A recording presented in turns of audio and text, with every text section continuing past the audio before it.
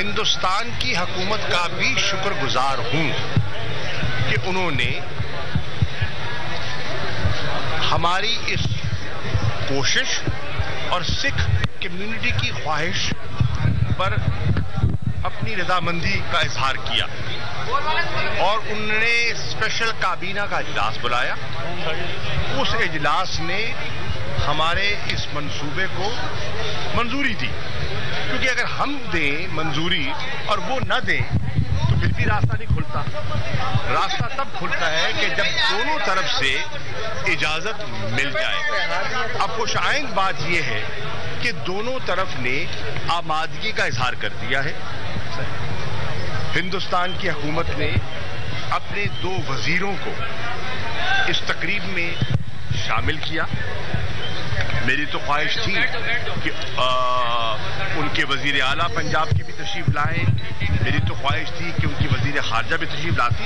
لیکن پھر بھی ایک اچھی شروعات ہوئی ہے۔ اور میں سمجھتا ہوں اس کو مثبت انداز میں لینا چاہیے۔ اور اس سے تعلقات میں بہتری کے امکانات روشن ہوئے ہیں یہ اچھی بات ہے۔ لیکن ہم نے ایک گڈ ول کا جیسچر کیا ہے۔ عمران خان صاحب کی یہ خواہش ہے ہماری حکومت کی یہ خواہش ہے کہ اس خطے میں امن ہو یہاں استحکام اور امن اور استحکام ہماری اس لیے بھی ضرورت ہے کہ ہم چاہتے ہیں امن اور استحکام ہوگا، تو پھر ہم توجہ دے سکیں گے ان مسائل پر، جس سے کہ آج پاکستان کی حکومت دو چار ہے۔ مثال کے طور پر معاشی مسائل ہیں آپ کے مثال کے طور پر آپ کے روزگار کے مسائل ہیں۔ روزگار کے مسئلہ حل کیسے ہوگا؟ سرمایہ کاری سے ہوگا۔ سرمایہ کاری کب ہوتی ہے؟ جب امن ہوتا ہے، استحکام ہوتا ہے۔ تو ہماری خواہش ہے، موجودہ حکومت کی خواہش ہے تحریک انصاف کی حکومت کی خواہش ہے کہ ہماری مشرقی اور ہماری مغربی سرحد پر بھی امن ہو اور استحکام ہو اور اچھے تعلقات اچھا چیف نے کہا ہے کہ اگر وہ بیان بے معنی ہے۔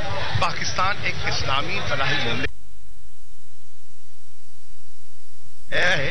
ان کے بیان سے ہمارا نظریہ تبدیل تو نہیں ہو سکتا۔ اچھا اچھا سر سو دنوں کی کارکردگی میں سو دنوں کی کارکردگی میں جنوبی پنجاب کے صوبے کے حوالے سے کوئی بات نہیں کی گئی۔ اس سے تحفظات بھی پیدا ہو رہے ہیں اور پھر آپ اسی ووٹ لے کر آئے ہیں جنوبی پنجاب کے صوبے پر۔ پہلی بات میں عرض کرتا جنوبی پنجاب کا علیحدہ تشخص ہونا اور ایک صوبہ ہونا ہماری خواہش بھی ہے، ہمارا ارادہ بھی ہے اور ہمارے منشور کا حصہ بھی ہے۔ اب اس کو عملی شکل کیسے دینی ہے، اس کے لیے ہم سوچ بچار کر رہے ہیں اور اس کے لیے کام ہو رہا ہے۔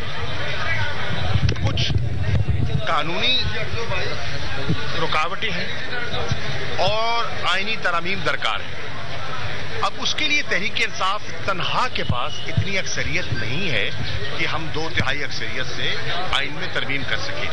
ہمیں آبویسلی سپورٹ چاہیے ہوگی دیگر اپوزیشن جماعتوں کی۔ وہ بھی کہتی ہیں کہ جی صوبہ ہونا چاہیے۔ اگر وہ کہتی ہیں تو آئیں ہمارے ساتھ مل بیٹھیں اور مل بیٹھ کر اس ترمیم کے لیے آمادگی کا اظہار کریں۔ اس کے لیے بھی ہم کوشش کریں گے۔ لیکن اس کے ساتھ ساتھ ایگزیکٹو لیول پر لوگوں کو سہولت دینے کے لیے جو اقدامات اٹھائے جا سکتے ہیں، وہ پی ٹی آئی کی گورنمنٹ نے عمران خان صاحب کی سربراہی میں فیصلہ کیا ہے۔ نمبر ایک کہ یہاں ایک سیکریٹریٹ بن جائے اور ایسے سینئر آفیسرز تعینات ہو جائیں کہ جو ملازمین کے اور عوام کے مسائل ہیں لاہور کی بجائے وہ ان کے قریب، گھر کے قریب وہ حل ہو جائے۔